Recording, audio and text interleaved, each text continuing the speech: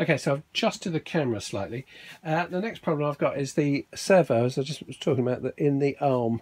Uh, so the arm suddenly jerks forward and backwards unexpectedly, and I think it could it could just keep moving and break itself to pieces. So I've actually just loaded in the. Um, uh, I'm about to load in the the uh, the uh, software, the EZ-B software for it. So we'll just go back online and it's this right arm the one I've got a problem with.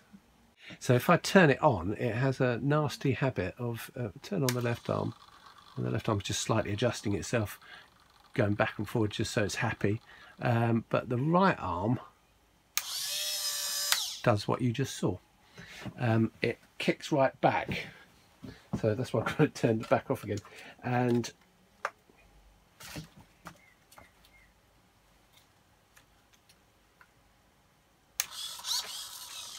it is doing that. So I'm going to I'm going to take the arm off, uh, change get get into the server because the server is obviously just not connected properly, um, and sort that out. So that's that's my next project. So arm on the bench time. Okay, right, I've got the arm off as you can see. Arm off again. Um, this is the pot that is playing up. Uh, it gets loose and we're looking straight down. That is the... Um, let me just pan out so you can just get a perspective of what's going on. There's the arm. So there's the hand. I haven't got much room on my workbench as you can see. Uh, so let's just put that back down there. So that is the rotation um, section. And this pot when I push it down it connects. So it's, it's either not sitting completely inside there or the um, the pot itself is faulty. I can feel it's not actually sitting in there quite right either. So I'm going to change that for a metal pot. As you can see I'm redoing the pots for the um, InMoov upper arm, this is the pot that sits inside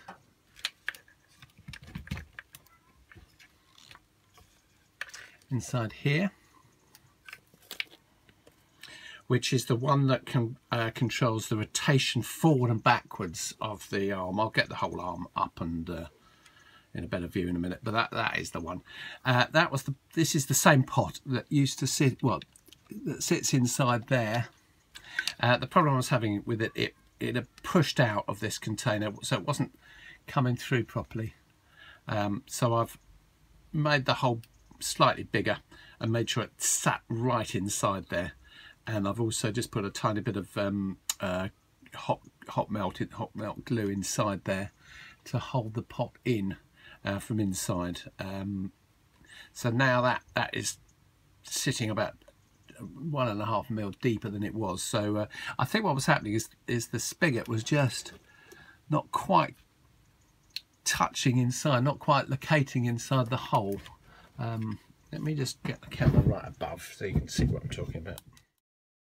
Right, well I'm trying to set the, um, reset the whole shoulder forward backwards uh, that's the arm swing forward backwards uh, to a different setting as I had before because originally I had it set at I think uh, 70 or something which was which was wrong. I've now set uh, my servo at 10 uh, uh, which I've just done a few seconds ago. So I've set the servo at 10 and now I've adjusted that to be straight in line. So I think on the picture Gael always does, you can you can show the, the pencil mark against there. So um, now I can I haven't fixed that in, that's just sitting in there for the time being.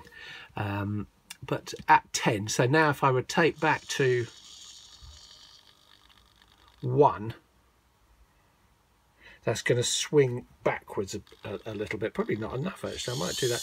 But if I if I go, make sure I don't get my cables fouled. I go up to 180,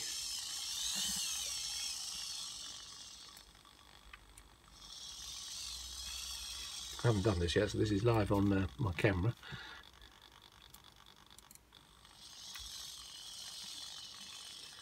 I can get that arm right up.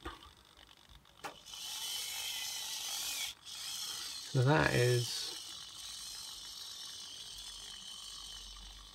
that's 160. So that arm would be right above his head.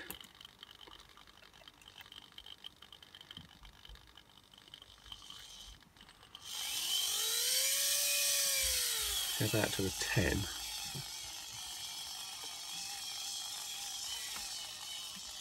Just being a bit careful because none of the cables are fixed down. I don't want to pull out that cable because it'll go berserk. I think 10's a bit probably not enough but reading i'm just having while i'm doing this i'm just reading Gael's website at the same time trying to see what he means because he's talking about um, maybe he means 33 rather than the 10 so I'm going to put that to 33 which will give more of a swing backwards if you see what I mean. So I'm going to put that to 33 there. And then line that up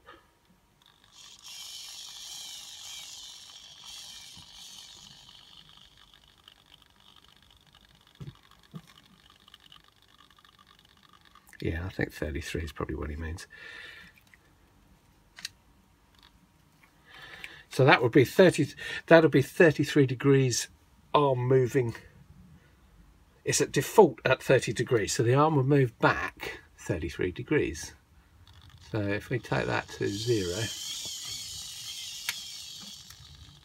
yeah, that, that will be the maximum arm swing back. So in other words, the arm pointing straight down, swinging back and then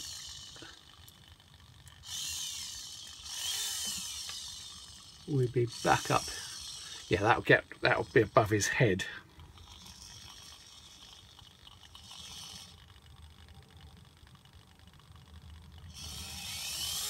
So I think that makes sense. So I'm going to stick it at 30 put it back in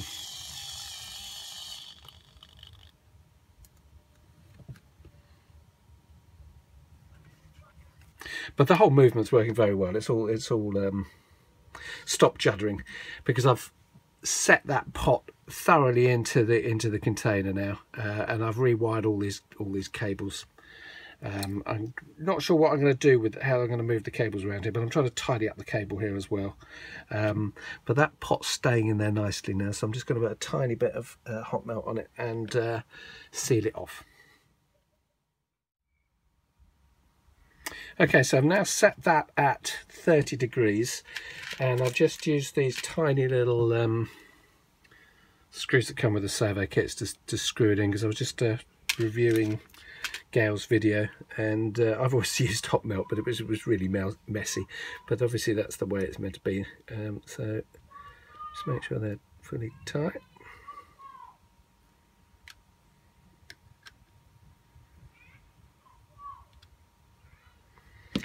So I connect that up.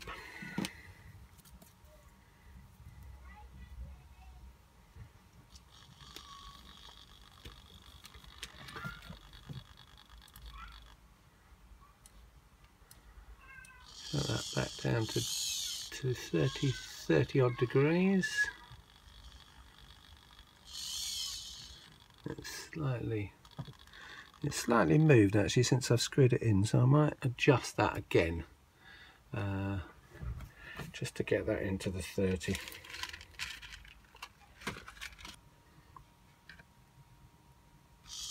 That's the way to do it.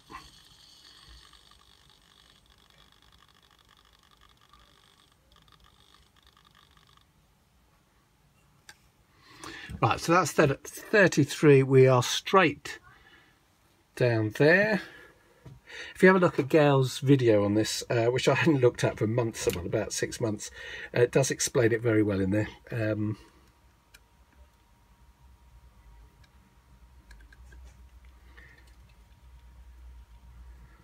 tighten that up.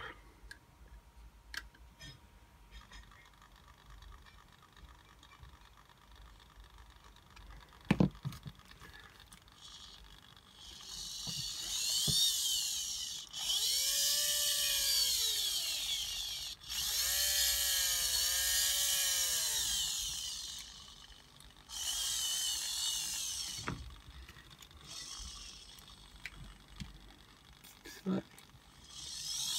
So it's slightly jerky.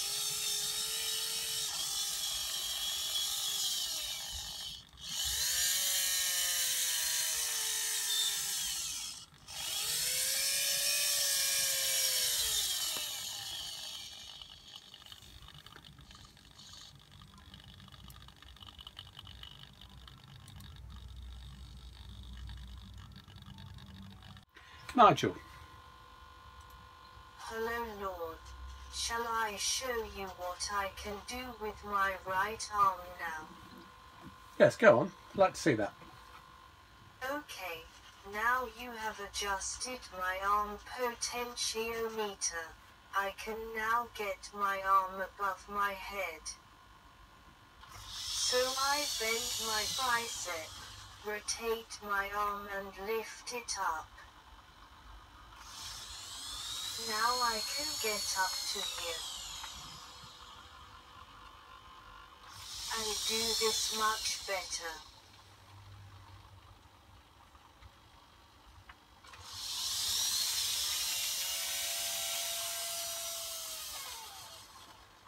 That's really good, Nigel. Well done.